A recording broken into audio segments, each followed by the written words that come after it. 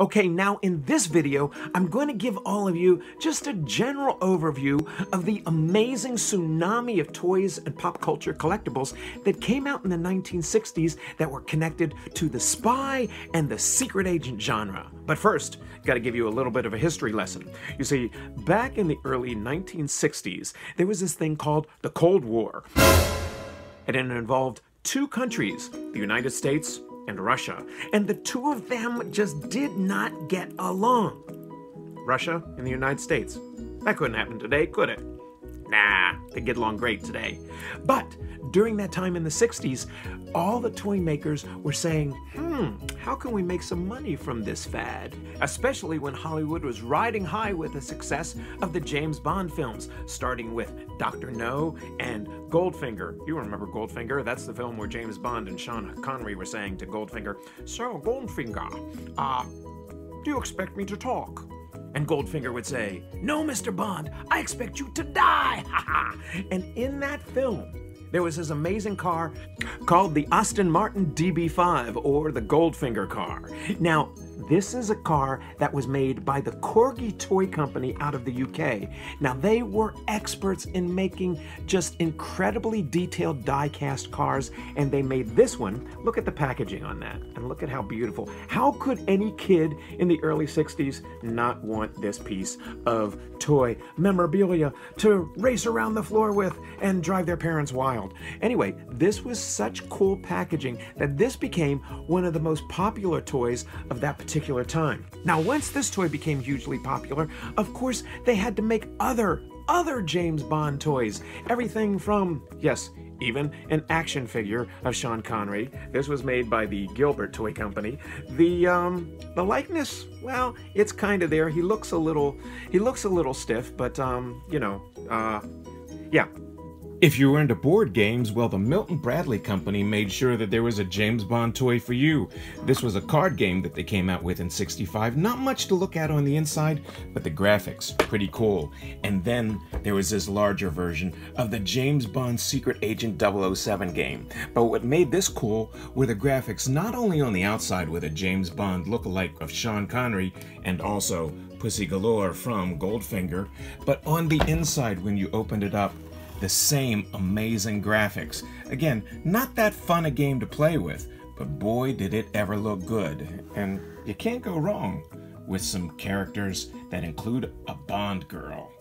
However, the number one Big Mac daddy of James Bond toys is this one. It is the 007 James Bond attache case, modeled after the same attache case that you see James Bond having in the film From Russia with Love, the third James Bond film. So it has all of the parts of the secret rifle that he would put together and the secret compartment with a knife that would come out of the attache case. Now this one isn't entirely complete. It's missing just a couple of things. There would be a little passport that would go in here.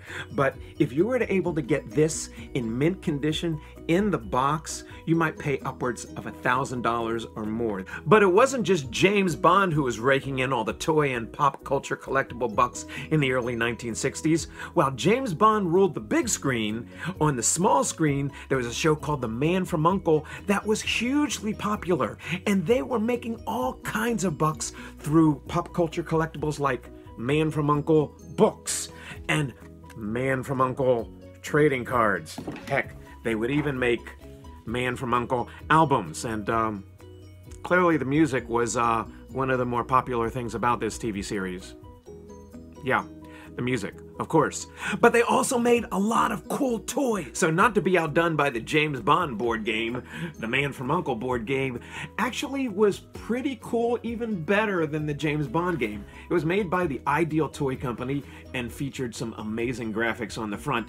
The main character, Napoleon Solo, played by Robert Vaughn, is here with his, of course, uncle rifle and as you can see, this was a pretty big game. The graphics were, again, the main draw on a lot of these board games. But there were more toys, more toys that they came up with to feature the Man from U.N.C.L.E. For example, if you were a kid in the 1960s, you went to school with a lunchbox, a metal lunchbox, and of course, this one was merchandised for the man from U.N.C.L.E. And the cool thing about this one is that it had all kinds of amazing graphics on either side in some amazing lithography. I mean, some of these toys, some of these toys in the lunchboxes just were actually kind of works of art. Now, what I like best about this lunchbox is that the artwork on the outside on all the sides actually, was created by the amazing Mad Magazine artist Jack Davis, who created a lot of incredible cartoons for Mad Magazine through the 50s into the 60s.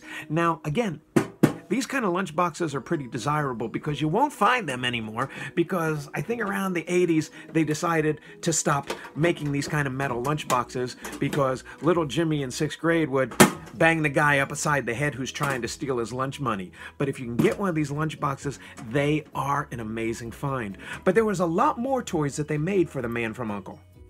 Remember the James Bond car that I showed you earlier from the Corgi Toy Company?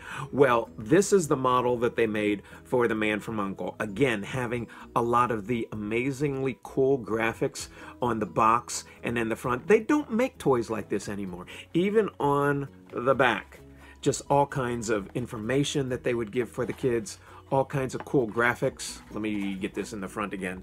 So, you know, this is the kind of stuff that they would make in the 60s that really just were the highest quality. Look at this. So they would even give you a little ring that you would wear around your finger. Even on the back of the box, they would have all kinds of cool information about the TV show. Again, graphics on the back.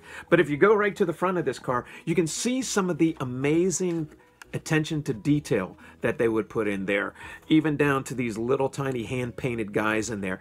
Now, this particular car wasn't actually seen in the Man from Uncle TV show, but kids didn't care as long as it said Man from Uncle on it and it was a cool looking toy like this. Well, they were just happy to see this under the Christmas tree. And not to be outdone by James Bond, the man from Uncle even got the same company that made the James Bond action figure to make action figures for the man from Uncle. This one is Illya Kuryakin, the Russian side of the duo on the man from Uncle. And again, fashioned after David McCallum, and the likeness isn't too bad. It also came with a man from uncle badge that they would use to get into the secret headquarters. So those are just some of the things that they were able to put together for the man from uncle. Meanwhile, all the other toy companies were looking at all this money that was being made over spy toys by all of the other toy companies and they were thinking, hmm, how can we make some money off of this, this spy craze? How can we get money for ourselves? Uh, yeah, but we don't have the licensing for the man from uncle. And like we don't have the licensing for James Bond either. So we'll make our own license, our own secret agent. And that's when the Mattel Company came up with their own special fictional license, and they called it Agent Zero M. And they fashioned all of these cool toy weaponry based on items that kind of look just pretty ordinary.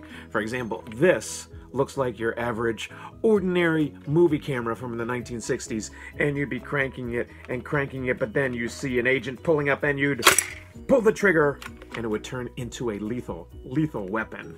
It even had a compartment down here where you could put caps in it to make it fire and then when once you've dispatched once you've gotten rid of the enemy agent you just put this back and you start taking videos again. Lastly, this is one of the coolest toys from the Mattel Zero M line. Looks like just a simple penknife, doesn't it? It's got a little plastic blade here. Doesn't look too dangerous, but then if there's a secret agent coming to bother you, you push this little secret button and suddenly it flips into a pistol and you point it at the bad guy and you say, You brought that stuff on yourself. So be sure to subscribe to my YouTube channel at Timz Toyz, where in the future I'll be telling you a lot more in detail about vintage toys from a bygone era. Or else. Just kidding.